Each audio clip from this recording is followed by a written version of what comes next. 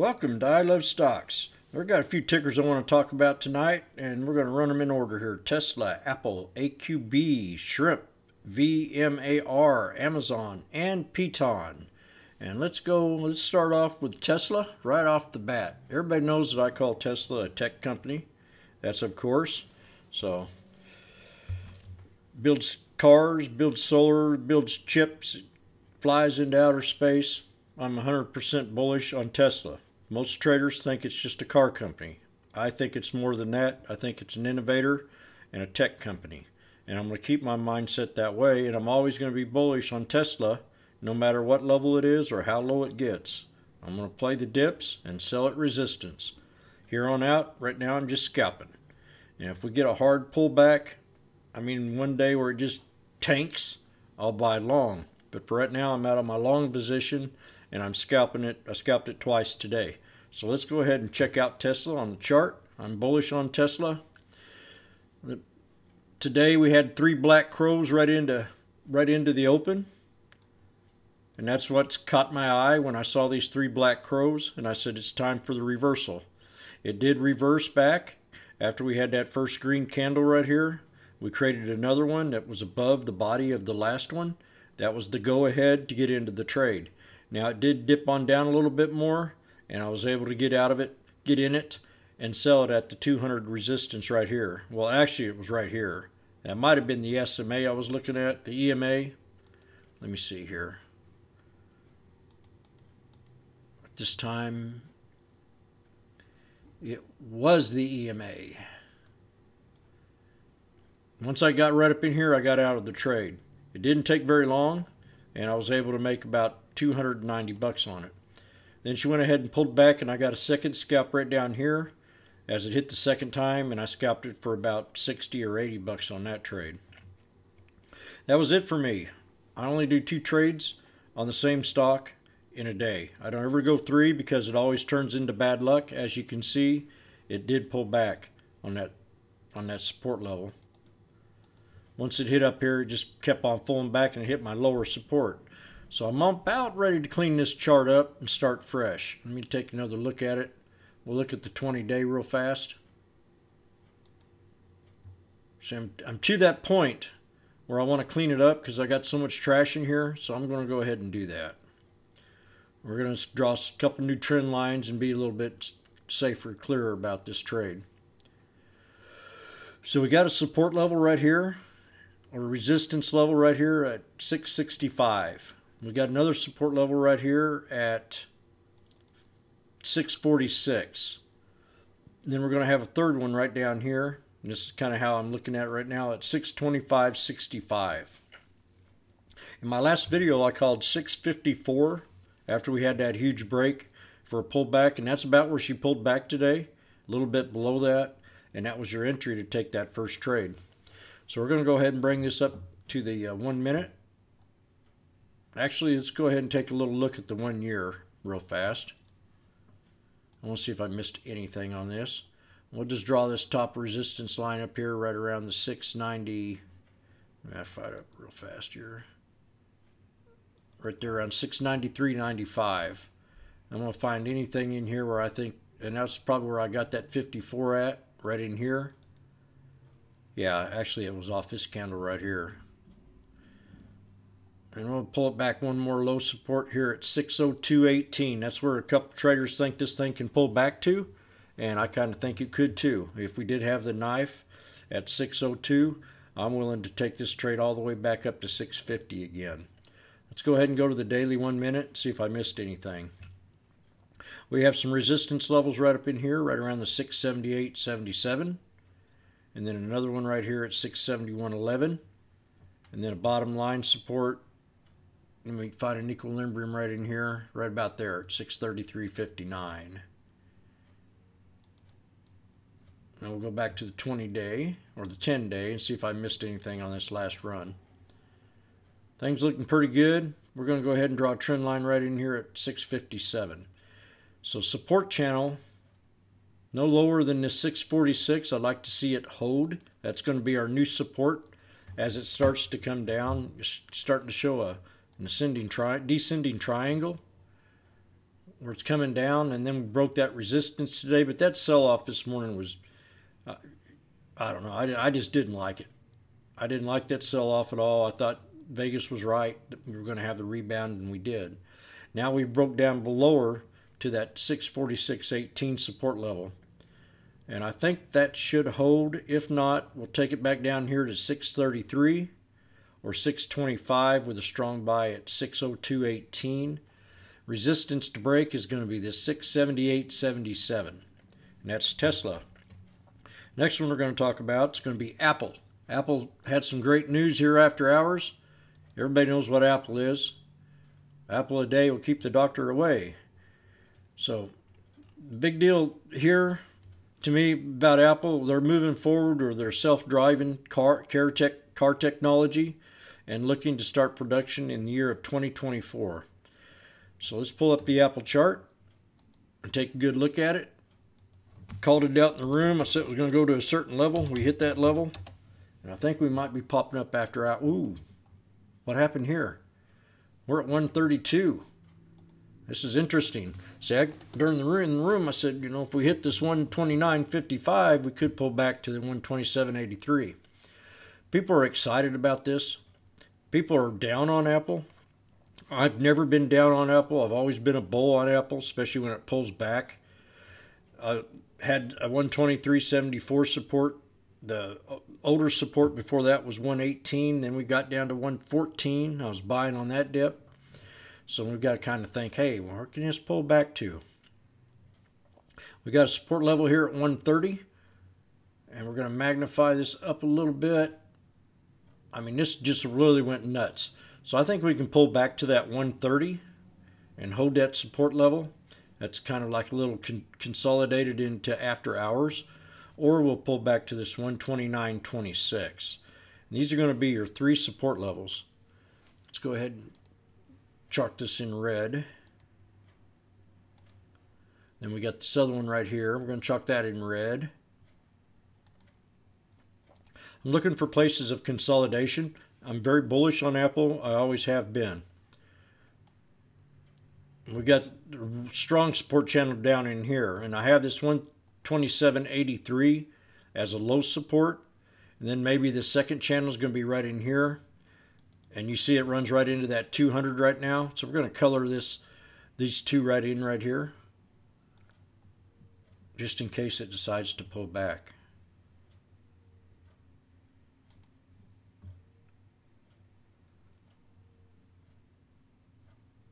It right about in there. This is going to be my third support channel with a strong buy at 127.83 and that first touch at 182.62 with a pivot point inside the channel at 128.16. The second support will be here at 129.26 and then that first one here at 130.01. And that's the way I'm going to look at Apple. I'm very bullish on Apple into 2021. I think this stock can easily get to 150 to 175. So let's go ahead and look at another one. AQB, talking about salmon. Home raised salmon. I think they've had this genetic for over 30 years. Let me see if I can find it. Our salmon. Good news, salmon lovers. Now savory your favorite fish. It is my favorite fish next to mahi mahi and helping and some crappie that we we catch here in Missouri and white bass. And helping save the planet are one of the same. Meet the irresistible AquaBounty Atlantic salmon, genetically engineered one time 30 years ago. It's a safe and fresh choice, responsibly raised right here in the USA, keeping the oceans clean. That's why I like AQB. So let's go straight to the chart. I love this chart. I love it, love it, love it. We were calling this under five. We're going to look at the 20 day chart. You see right around here, around 515, she had that triple bottom. Bam. She ran all the way up to the top to my resistance level at 1045, and then she's on her way back to do that again. Uh, I think if it breaks 962, we will hit this 1014 and then that 1045. Support level is going to be right here at 832 and 760 for a very strong buy. That's going to be AQB. I'm bullish on AQB. The one right after that's going to be shrimp. It does the same thing. Now they've increased their productivity by three by twofold, threefold. Let me find it here. Natural shrimp. I love shrimp. I love salmon. So I'm been in this trade at 10 cents. Miss Vegas says she's been in it a lot cheaper. Great for her. But I think I love this love this company. Her and I ran this up a couple years ago from a piddly few cents all the way up to almost 90 something. And I think we're in the same course right now, especially with being all green. And I think that's what's going to be some of the driver for next year in 2021. Anything that, that's green, that's good for the environment, is going to be. That's why the EV cars are running, and I think that'll bring General Motors up too. As you can tell, Fat Cats only play General Motors, and we all play these little low float uh, EV cars that are just coming out of the pocket. So let's look at the shrimp chart. Like I said, they've increased their capacity by threefold, and this is a good thing for shrimp. We're going to go ahead and take you to the shrimp chart, SHMP, and I'm going to try to find some resistance levels here. We did hit my last couple, and I'm very bullish on this trade. I've got a support right now here at 3307. I think it can pull back to that. It does like to pull back and then bounce back up. So let's look at the chart. Let's look at the one year. And I'll tell you where my next resistance levels are on the one year. And this goes back to three years. Let me show, pull up the three year chart. As you can see, them candles, this is where Vegas and I run it all the way up to 94.90. And then bam, she had the hard sell off. And then just all of a sudden, we started reversing back up. So I got a pivot point in this channel right here at 43. That's going to be our next resistance level to hit the 43.13. I'm bullish on this company. I think we can take it up to the $60, 60 cent level. And that's probably where I'll cash out. I've got a pretty good, I got 20,000 shares at 10 cents. This is 43.13 for the pivot point on the three-year channel and support. Let's talk about support again. I'll bring it back to the day. I think it could be right in here. Let me change this. Right there at 30, 33 cents. Then you got another one right here right around 34. Then you got another one right here at 34.67. These are your three support levels. Actually four if it decides to knife, then we've got one more. I can't leave that out. That'll be a guy slow. I mean, this could be like a bounce back up. But I think we're going to break resistance right here at 39 and then run it up to that 40, what did I say, 43. Let's go back to the year. Let's go back to the 20 day. What did I have that on?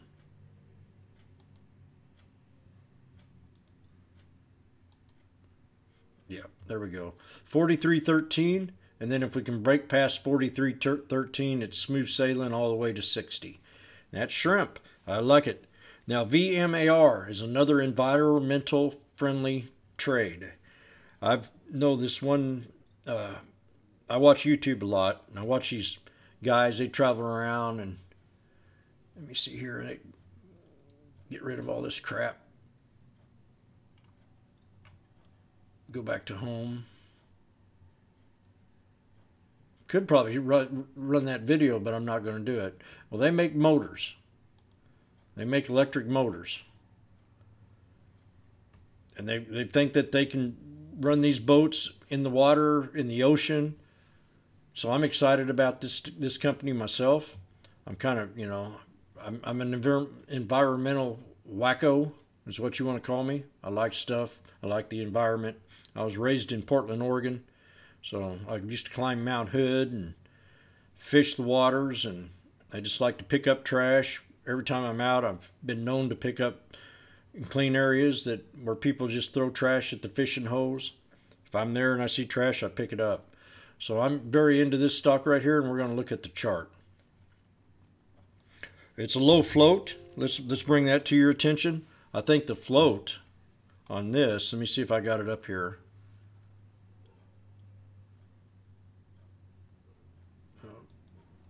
The float is 1.94 million. I picked this up on FinViz. 1.49 million. So we're going to type in the ticker here. So that makes it a little volatile. That means there's going to be low float traders trading this stock. So when I do, when I see something like this, I like to play the pullbacks. I like to find a support and play the pullbacks. And I'm going to find it here. But let's look at the yearly chart first. We'll take all this mumble jumble off where I can see it better. This is my SMA chart, SMA 200, and, and then you got, I think this has not been out very long, and my 200 and my 50. Let's pull up the year chart real fast. Yeah, see, it ain't been around very long. So I'm going to look at the 20 day. I'll get a better picture of what we're looking at here. I think this thing can probably find support right down here. Kind of find an equilibrium. There, there, well, yeah, right there. I'm going to find a pivot point in this channel. And I think that could be right here. Kind of hard to say. It ain't been out, ain't been out very long. And I find me a support level right here. Then we got a resistance level, which now becomes support. And then we got this other spot in here. I'm drawing these lines on the bodies of the candles that's where, to me, I find most of the consolidation, where the buyers and the sellers have finally just gave in, and it's an equilibrium. So we got to break up, we've got to break resistance right here at 1633, 32. Now, remember, I said this was a low float stock. Okay, so we're going to color this area right in here. I think that's going to be the low support to hold, and anything below that, it's going to be a very strong buy. We'll just tap that in right there. It's kind of a bad drawing. Let me redo that. Got to be neat. Bam. Come on. Boy. Try to be clean. See what happens. There we go. Much better. I got a little support channel at 1486 and 1507.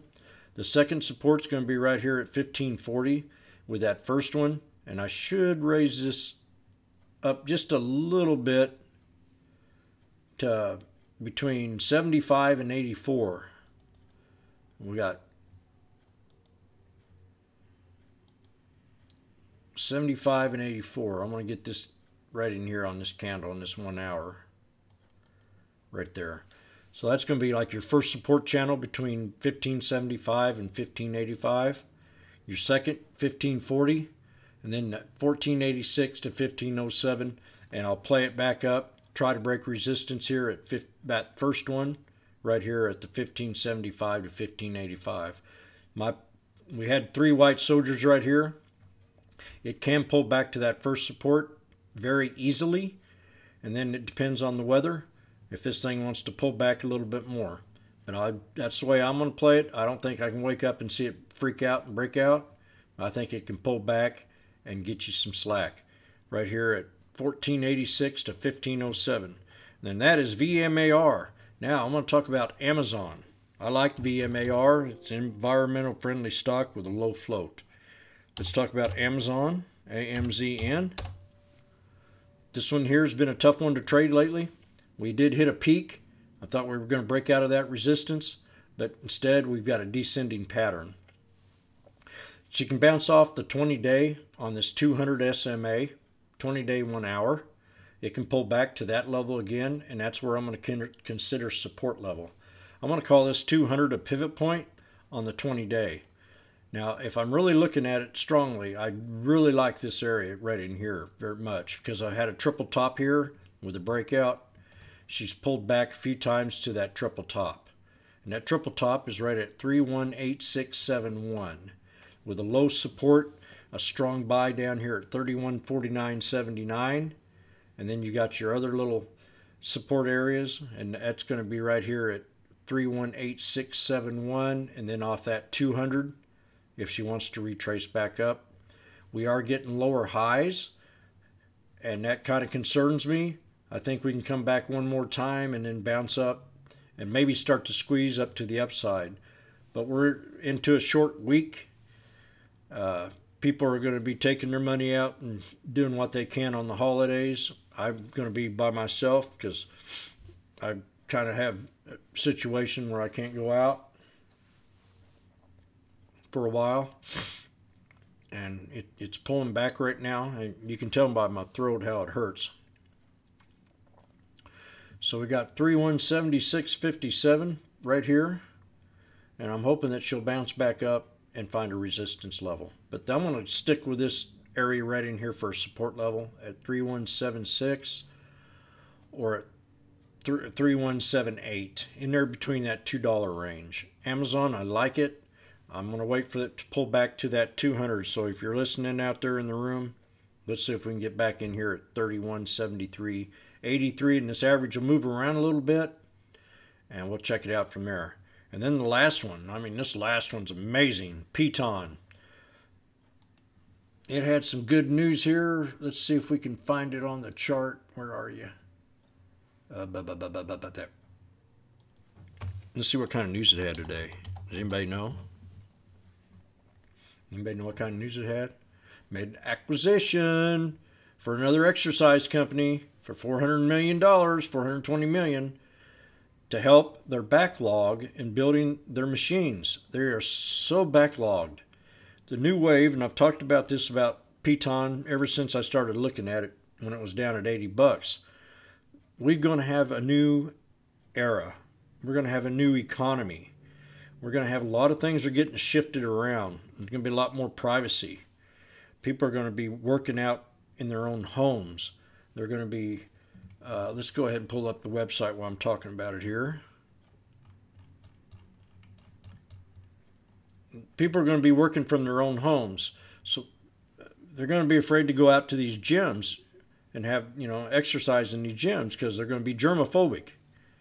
I don't think I ever will be. I'll start licking my fingers again when I can.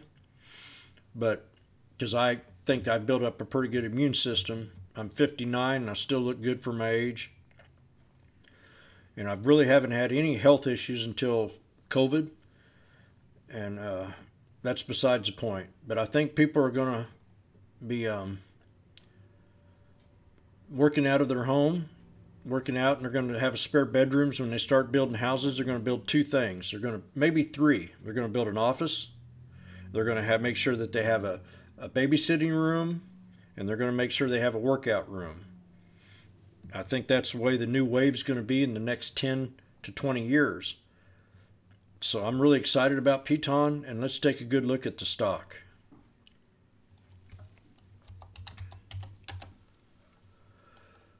It did have a nice little breakout after hours. I kind of want to clean this chart up, but let's go to the 20 day first. See if we can find us a nice little support off the 20 day. It's getting a little foggy. We had a had a, what I call a pennant flag yesterday in the room pennant flag, and then we had a breakout from that pennant flag. So let's let's go ahead and erase all this mumble jumble and start fresh. I really want to get this right. I think it could pull back to this 151, and then we got a spot right in here, and we've got another resistance level right up, right up in here. We're going to bring this up to the daily one minute. Now let's see if we got any more. In case it pulls back, we got another spot right here. You can see the pennant flag that we had. So we'll bring it down to that bottom of that flagpole right there. Now let's bring us up to the daily one minute. Right there's a good support level where we had this crack after hours. And then another one right in here. So we've got a strong buy if it pulls back to the 144.52 area. Let's go ahead and chalk that in with red. And then we're going to have another support right here.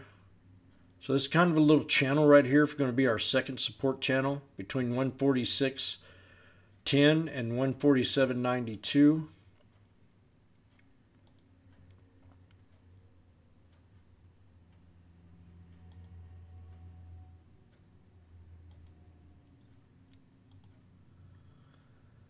First support right here at 153.02. Second one is going to be right here at 151.06. Then your third one is going to be here at 149.55. Now I think if it does knife below them, these are going to be areas of strong buys with a very strong buy down here at the 1 So we had an ascending triangle right here. See what I'm saying? 144.52 with that fourth support channel at 146.10 and 147.92. But I like to see it hold between 151.06 and 153 and inside that channel it's going to be a pivot point. And that pivot point is going to be right here at 152.07. I hate it when I do that because I got to go back here and I'll never get the same spot again. Let me see if I can find it again. Right there. I did it. Okay. First support 153.02, 152.07, 151.06 with that fourth strong buy at 149.55 and if it goes any lower than that, I can't see it doing that. I want to see it hold this 150 tomorrow and start to go sideways and build a channel. But this is a pretty good little breakout after hours. It's a little irrational. So we're going to kind of think it can pull back a little bit and then we'll look for the reversal come tomorrow. But I'm very bullish on Piton. I have been for a very long time. And we've had one heck of a spike. I think every time we get a good spike like this, it'll pull back. That support channel again, 151.06 to 153.02. And that's it with I Love Stocks. I hope everybody enjoyed this video and hit that like button. Always remember, we love stocks. Miss Vegas has a little Twitter page here. Follow us on Twitter. We're moving up, getting a lot of followers day by day. We want to get this up to 10 grand, 10,000, and I think we can do it. And let's see what else we got on here. We've got on the website, We've got our Stocktwits. Hit our Stocktwits. I gained 100 followers so far this month. Maybe more than that. Yeah, about 100 followers on Stocktwits. So hit that like button. Follow me on Stocktwits. I'm posting alerts in here all the time. I was telling people I want to do redo video on shrimp because it's run up so well. I've had like 400 views, 300 some views on that. And called this Tesla squeeze earlier. Pulled this out. Well, I got my answer. I asked everybody when's the next resistance. I said we're going to go to the 200. That's where I got out of the trade at the 200. Made an easy 60 bucks on my second scalp. Just matter of what? If I'd have bought more, yeah, it but you know, matter of 10 minutes. It's pretty good pay. Tesla's on its way to hit the 1 trillion market cap. So let's go ahead and have a good day tomorrow. And I want to wish everybody a Merry Christmas. And if I don't see you by then, Happy New Year.